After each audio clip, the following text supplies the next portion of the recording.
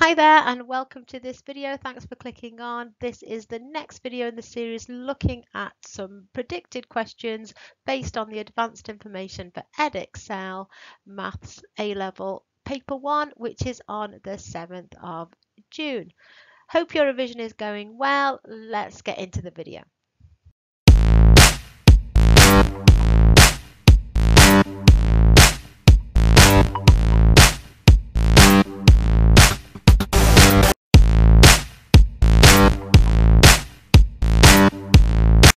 So before we get started on this one, if I could ask you at some point, if you're finding the content of this video useful and helpful, do go and uh, give it a like and subscribe, do all that good stuff, share it with your friends, that would be brilliant.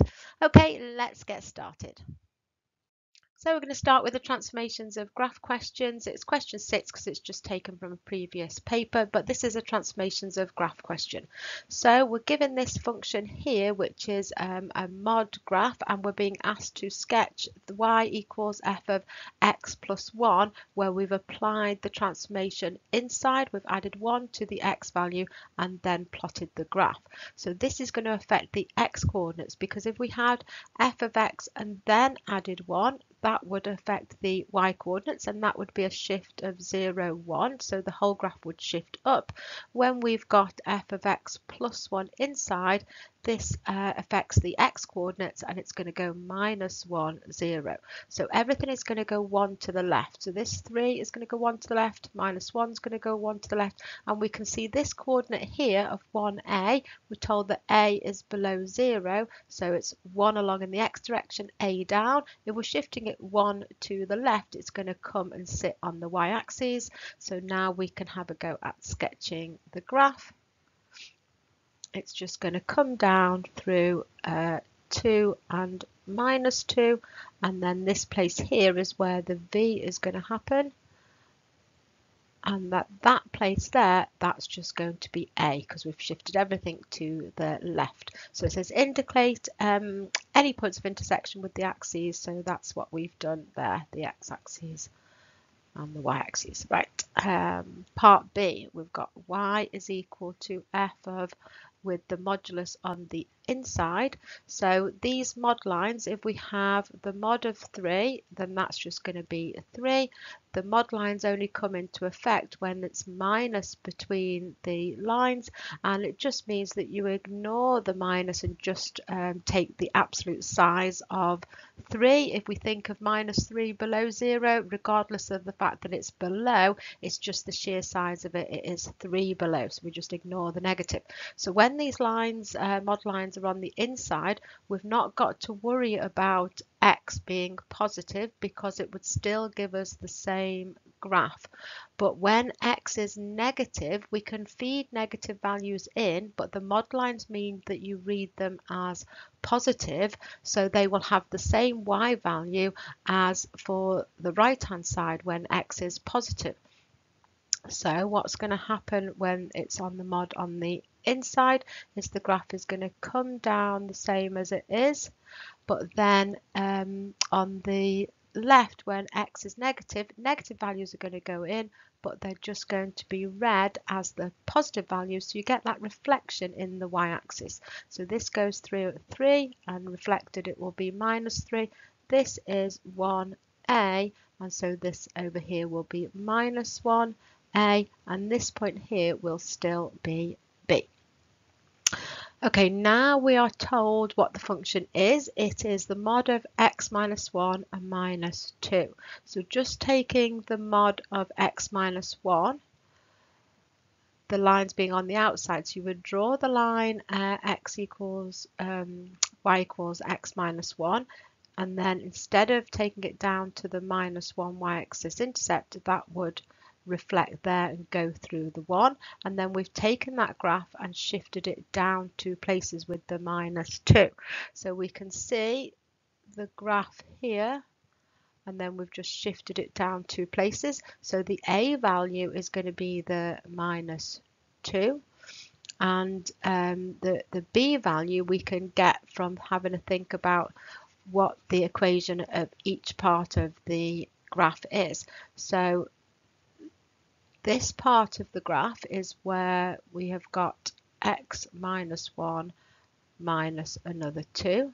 So that would be y is equal to x minus 3. And on the other side, we have got um, the minus x plus 1 and then minus 2. So when you want the equation of the left hand side of the, the modulus, you can just put minus into this mod, which will give us a minus x and a minus minus 1, which will give us plus 1, and then minus 2. So tidying that up, that is y equals minus x minus 1. So where does this graph have a y-axis intercept? At b at minus 1. So a is equal to minus 2 and b is equal to minus 1. For part D, find the value of x for which f of x is equal to 5x. So we need to add on to the graph, the graph of y is equal to 5x. Now y is equal to 5x is a steep line that goes through the origin. So that's y equals 5x. Now because the gradient of this line was less than 5, it's only going to have 1 intercept there. So for part C, we just need to find the x value where minus x minus 1 equals 5x. So minus 1 will equal 6x and x will equal minus 1 sixth. Here's another transformations of graphs question. We've got this function here and for part A we're being asked to sketch the mod of it. So f of x and then take the modulus. We're just going to worry about where between those lines goes negative. So that is this section of the graph because y is negative when it's below the x-axis. So we're going to sketch the graph and it's going to be not worry about it until it gets to the x-axis so that will come down at 3 and this curves round like here so that's going to reflect up and go through like that. So instead of going through at minus 2 it's going to reflect up and go through at plus 2 for part B we're being asked to sketch the inverse function. Now inverse functions are a reflection in the line y equals x. So if we put the line y equals x on, so that would be a diagonal line like this. So when we draw it, we've got to be reflecting the function in that diagonal line. So the 3 here will be reflected and go up to here on the y-axis 3. The minus 2 will come here on the x-axis as minus 2. So you're going to get a similar shaped graph. It's going to but reflected in the line y equals x and it's going to go through like that at 3 and minus 2. Now it says indicate clearly the coordinates of the points where it crosses the axis. So all we need to do is put in those key points um, where it crosses the, each of the axes. Then for part C, half f of 3x. Well, the 3 on the inside is going to times the x coordinates by a third and the half on the outside is going to times the y chords by a half. So we've got to apply both of those changes to the two points we've got. So for 3 naught, timesing the x coordinate by a third, it's going to go to 1, but timesing the, the y coordinate by a half, it's going to stay at um, 0. And doing the same to the 0 minus 2, we're going to times the x coordinate by a third, so that's going to stay at 0, and the minus 2 times by a half is going to go to minus 1. So for part C, I'll draw it here, it's going to go through 1 and minus 1. So it's going to come down the same and go through there. This is a question involving trig and differentiation. We're being asked to express this, which has um, two trig ratios in the form of r cos 3x plus alpha, which has just then therefore got one trig ratio, and then we can use that form to go on and solve.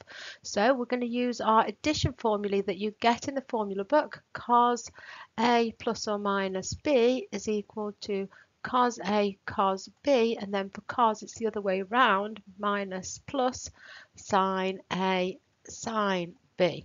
Now we've got plus here, which is this plus, so we're going to use this minus. So if we write the thing that we're trying to express from the question, 2 cos 3x minus 3 sine 3x, and we're going to make that equivalent to r cos 3x cos alpha and then it'll be minus I'm going to take that r which will be times both of these terms. Take that into both terms uh, sine 3x sine alpha. And now what you do is you equate coefficients. There's a 2 in front of the cos 3x and what goes with the cos 3x it is r and cos alpha. So we can equate and say that 2 is equal to r cos alpha and then we've already got a minus here so we can just take the 3 the 3 is equal to r sine alpha. Now how do we get r and alpha? We square and add. So 2 squared plus 3 squared, 9 plus 4 is 13 is equal to r squared and then we could take that out as a common factor and it would be cos squared alpha plus sine squared alpha cos squared plus sine squared is equal to 1. So that will give us that r is root 13. And then I usually do um, r sine alpha over r cos alpha. What's equivalent to them? It's the 3 over 2.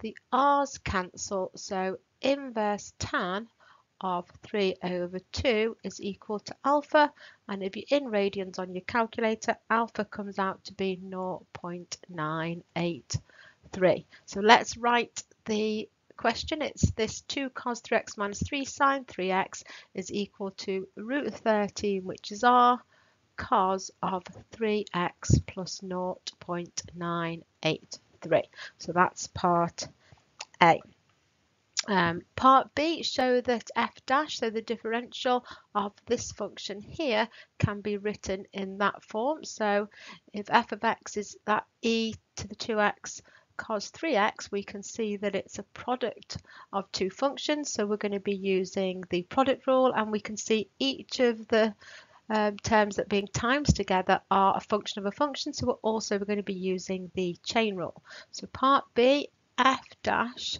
the product rule is first, differential of second. Now, because it's a function of a function, we differentiate with respect to the cos first. So that will be minus sine 3x. We've left alone on the inside, so then we need to multiply by the differential of the 3x, which will just multiply by 3 on the front.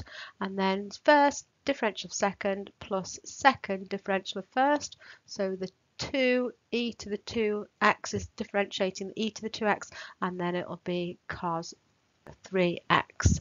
Uh, now what we can do here is take um, e to the 2x out as a common factor. Now this term is the positive one so I'll put that first. It's cos 3x and then it's minus 3 sine 3x. Now we can see what we've got in here is exactly the same what we've been using in terms of part A. So this is e to the 2x and our r is root 13 cos of 3x plus our 0.983. So we can just put the r on the front, e to the 2x of cos 3x plus 0.983. So that is part B. Part C, hence or otherwise find the smallest positive value for x, which the curve has a turning point. Um, now for a turning point, we're going to let the differential equal zero. So C f dash of x is equal to zero at turning point. So the thing that we've just found in part B, we're going to equate that to zero and um, it can only be zero when the cos part of the function, if you think of e to the x or e to the 2x will be that graph, it's not going to um, be equal to zero, it's going to be the cos part that will equal zero.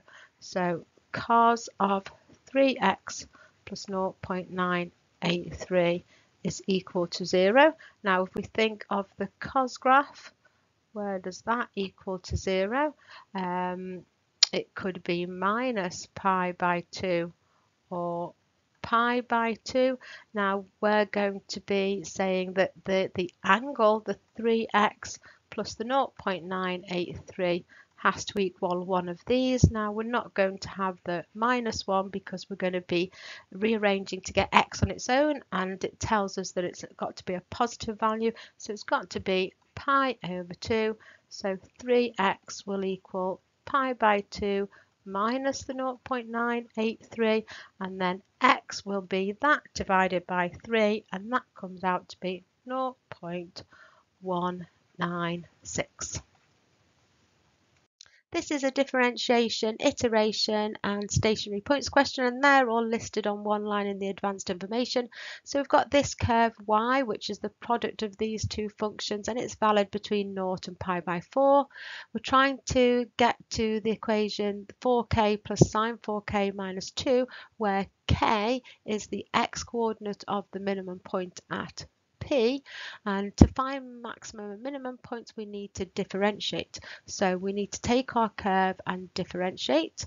So the y is given as the product of these two functions so we need to use the product rule which is first differential of second now the tan 2x is a function of a function. We need to use the chain rule and we differentiate with respect to the outside function first. Differential of tan is sec squared 2x, leave alone on the inside, but now because we haven't differentiated for the fact that that's 2x, we must multiply by the differential of the inside function, which is 2. So we've done first differential of second plus second differential of first. Differential of first is 2 and second is just tan 2x, and this is equal to 0 at P, which is our minimum point.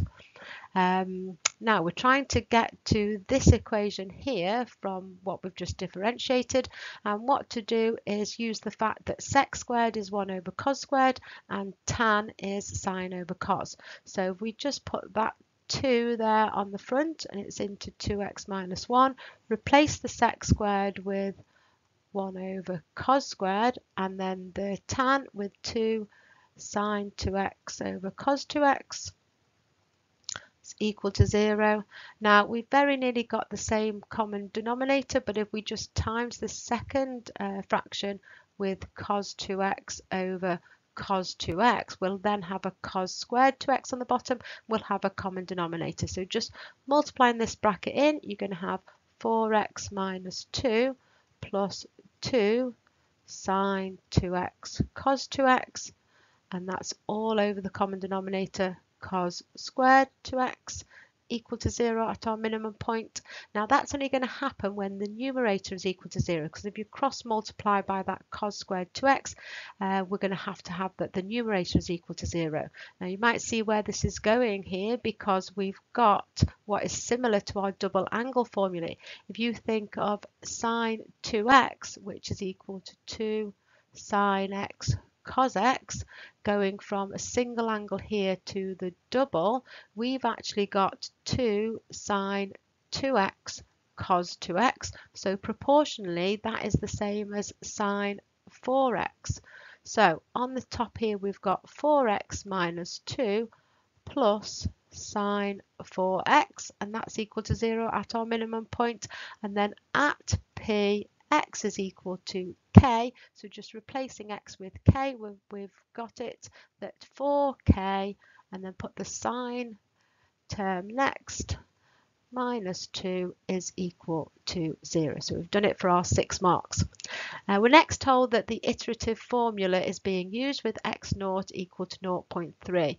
Now just in case they asked you to find this iterative formula you can see that what they've done is start with this equation take the sine 4k and the minus 2 to the other side and then divided by that minus 4 to get that k which is x if you like um, on its own and use that as to get the next one along. We are trying to use this iterative formula to home in and find the root. Now it's saying start with x naught being 0.3 so how to do this quickly on your calculator is if you type in 0.3 and then press equals, that 0.3 would uh, appear at the bottom of your screen on the right.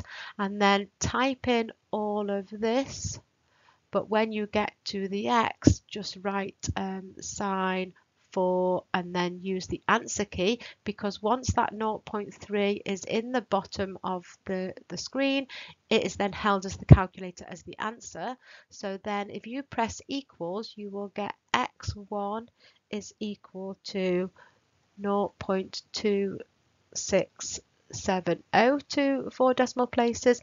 Now, if you just um, leave that will be the answer there in the bottom of the screen and you press equals again, you will get 8x2 because your calculator will just replace whatever's in that answer position on your calculator as the um, x there in the formula. So x2 comes out to be 0.2809.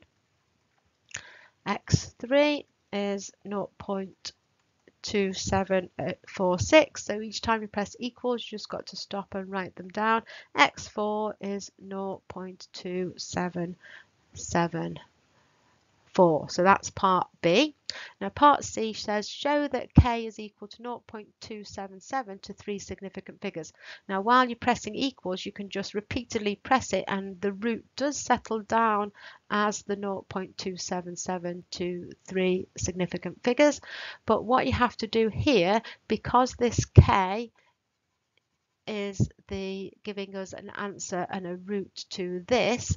This uh, 4k plus sine 4k minus 2 will be some sort of graph that at k is equal to 0.277 it goes from um, being underneath the x-axis to being above. So we're homing in and finding that root where it equals to naught if you think about when you differentiate and find the minimum point, when you equate the differential equal to zero, that is the root of that equation.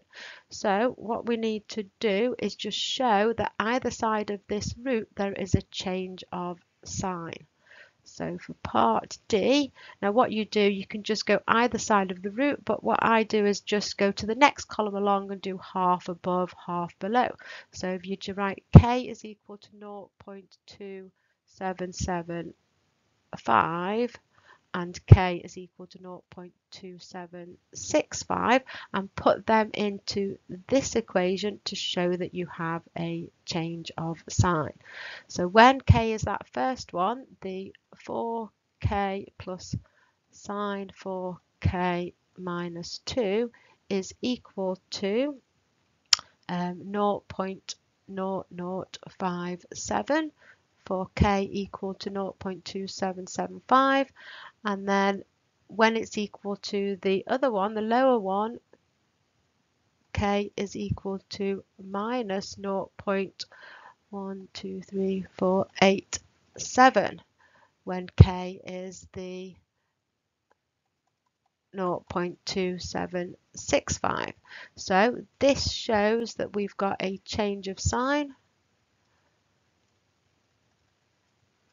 and the function is continuous across that interval.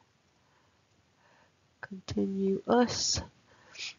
So we have a root at k is equal to 0.277. Got a factor theorem question here. We're trying to find this curve C, given that when we've differentiated, we've got this function, uh, we've got the y-axis intercept is minus 12, and we're told that x plus 4 is a factor. So the first thing we need to do is integrate back up, given that we've differentiated and got 6x squared plus ax minus 23. So if we integrate that, add 1 on and divide by the new power, minus 23x and then plus our constant of integration. Now we're told that this curve goes through the y-axis intercept at minus 12. At that point to be on the y-axis, you're going to have x is 0 minus 12. So when we feed 0 in here, the x terms will be 0 and it's just telling us that the minus 12 on the end will be our constant of integration, our c. So we've got the f of x is equal to, tidying these fractions, 2x cubed plus ax squared over 2 minus 23x and then minus 12. So we use the first two bits of information. Now that we are told that x plus 4 is a factor, if you think about dividing that in, it's going to divide in exactly so that we could write the factor times by. Now when that di divides in, you're going to have 2x squared to give you this 2x cubed and then plus whatever it is. When you times those two together, it's going to equal 0 when this bracket is 0. So f of minus 4, because the x value here that would make that bracket 0 would be minus 4. So all we need to do is put in minus 4 and that would equal 0. So f of minus 4 putting minus 4 in, minus 4 cubed is minus 64 times 2 is minus 128 and then plus when x is minus 4, minus 4 all squared is 16, 16 divided by 2 will be 8a and then it'll be minus 4 times minus 23 will be plus 92 and then minus 12 is equal to 0. If we tidy that all up, we'll get that 8a is equal to 48 and therefore a is equal to 6. So just writing it back in its simplest form, we've now got that f of x is equal to 2x cubed.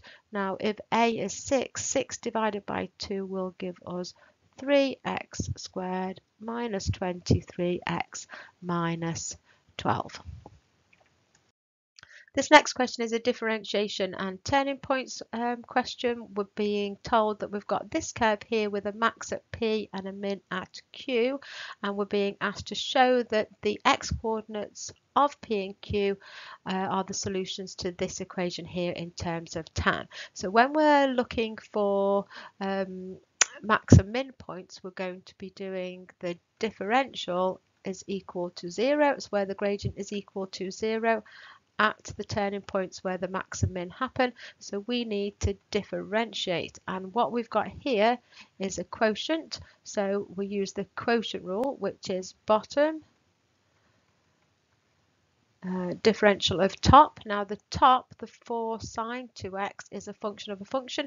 Differentiating with respect to the sine, we're going to get cos 2x, leave alone on the inside, multiply it by the differential of the inside, which is times by 2, but that will just times by that 4 on the front and get 8. So it's bottom differential of top minus top differential of bottom, and the differential of bottom, the root 2 will come down e to the root 2 x minus 1 and then the top will be 4 sine 2x and then that's all over bottom squared which is e to the root 2x minus 1 all squared. Now that equals to 0 at the turning point. Now that can only happen when the numerator is equal to 0. Uh, we can cross multiply that denominator and just find where the numerator is going to equal to 0. Now in the numerator I can see that I've got a common factor of the exponential function and I've also got um, a 4. So I can take 4 out e to the root 2x minus 1 and then it will be 2 cos 2x minus root 2 sine 2x is going to equal 0 at the turning point. Now the exponential term on the front, that can't equal 0. If you think of your exponential graphs, that can't equal 0. So it's only going to equal 0 when the 2 cos 2x minus root 2 sine 2x is equal to 0. So just rearranging that, 2 cos 2x is equal to root 2 sine 2x, cross multiply and get 2 over root 2 is equal to tan 2x. And if I just rationalise that denominator, I'll get 2 root 2 over 2 is tan 2x and then they will cancel and we'll get that tan 2x is equal to root 2. So this is going to be the equation that we need to solve to find x and then that will give us the x coordinates of those turning points. So in part B, we've got to use our answer that we've just found to find the x coordinates of the minimum points when we have taken this f of x graph and performed some transformations on them. But first of all, what we'll need to do is actually find the x coordinates of the turning points of the original graph, f of x.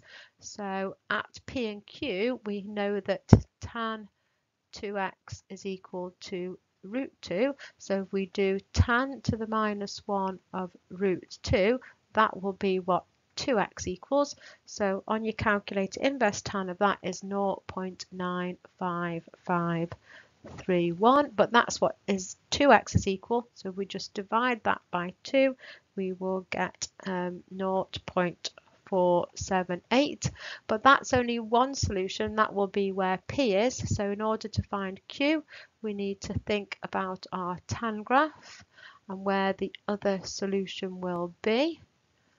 So it's going to be where we've got pi plus, that will be in the same position.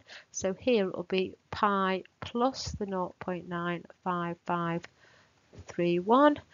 Um, and then if you divide that by 2, the other answer will be the 2.048. So this at P is 0.478 and at Q we've got 2.048. So they're the turning points or the x coordinates of the turning points of the original graph. Now let's have a look at these transformations. The 2 inside the bracket, this is going to have the effect of all x coordinates are going to be times by a half.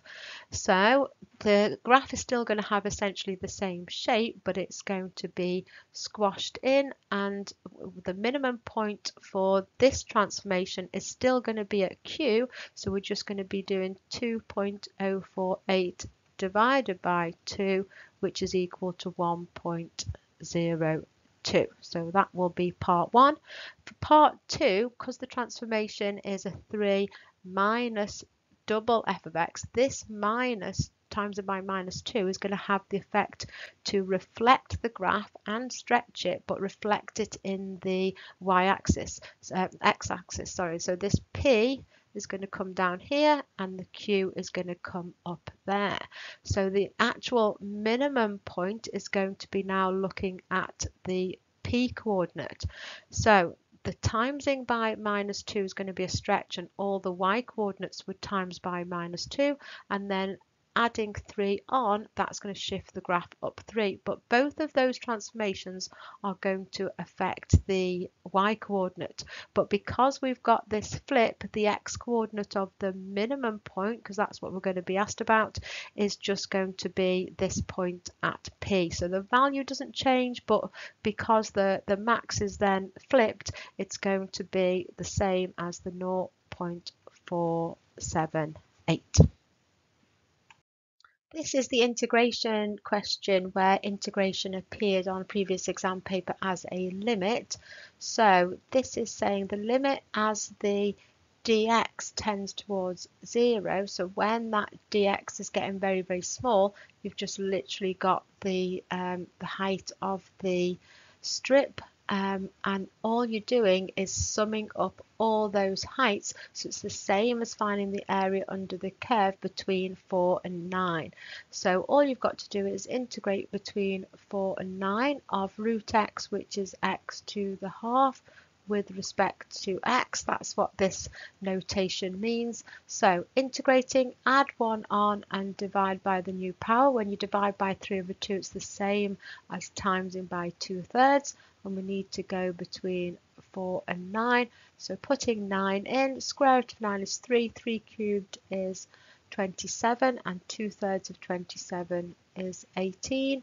Putting 4 in, square root of 4 is 2, 2 cubed is 8 and then we've got 16 over 3 and so 18 minus 16 over 3 is 12 and 2 thirds or 38 over 3. Thank you so much for watching. If you're still with me at this point, um, hopefully you have found that useful. So do give it a like and subscribe. Good luck with your revision and your exams this summer and I will see you on the next one.